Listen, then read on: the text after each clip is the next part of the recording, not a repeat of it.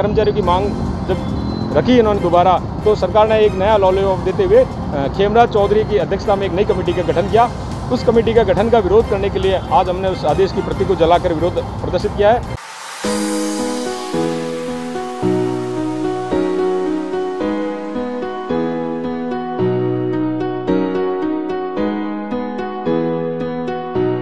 Hi, I am Shivani, 8th SEM CS student. Hi, I'm Pulkit Badolia, 8th SEM CS student. Recently मेरा placement दो MNC company में हुआ जिसका श्रेय मैं Aryabhatta management team mentors and HODs को देना चाहूँगी।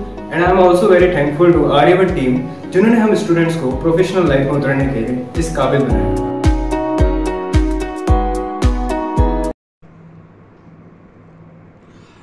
अखिल राजस्थान राज्य कर्मचारी संयुक्त महासंघ की पंद्रह सूत्रीय मांगों पर सरकार द्वारा कार्रवाई नहीं करने से रोष।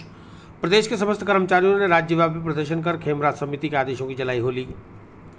अखिल राजस्थान राज्य कर्मचारी संयुक्त महासंघ के बैनर तले शुक्रवार को कलेक्टर के माध्यम से मुख्यमंत्री व मुख्य सचिव के नाम, पंद्रह सूत्रीय मांग पत्र पर सकारात्मक कार्रवाई करवाने और खेमराज चौधरी आईएएस की अध्यक्षता में गठित कमेटी के आदेशों को सार्वजनिक करने की मांग की ज्ञापन सौंपा गया।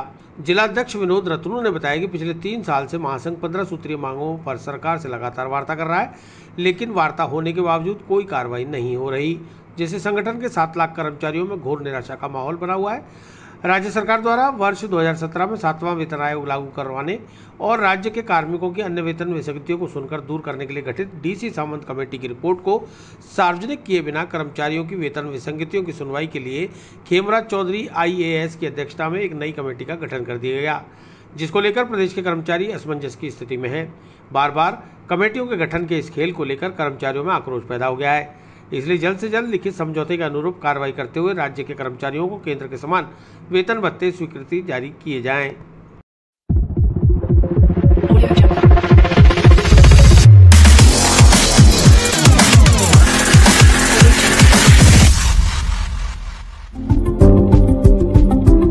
संयुक्त कर्मचारी महासंघ के आह्वान पर राजस्थान के कर्मचारी जगत ने आंदोलन का आगाज़ कर चुका है, वो राजस्थान सरकार के खिलाफ।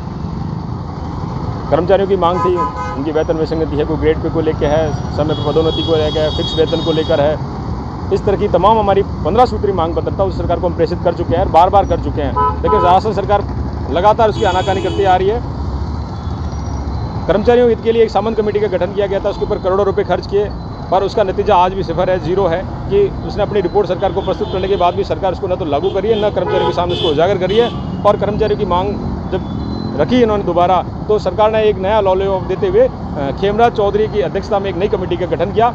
उस कमेटी का गठन का विरोध करने के लिए आज हमने उस आदेश की प्रति को जलाकर विरोध प्रदर्शित किया है और माननीय सरकार को माननीय कलेक्टर साहब के माध्यम से एक ज्ञापन प्रस्तुत किया है कि कर्मचारियों की जो मांगे हैं, उनका निस्तारण करें, उनके प्रति सहानुभूतिपूर्ण रवैया अपनावें, इस हट, हठधर्मिता को छोड़ें। आपका दो साल का समय बचा है तो कहीं आपको ये आने वाले समय में नुकसान नहीं देते, इसलिए कर्मचारियों के जो हित की बात है, उसको आप लागू करें।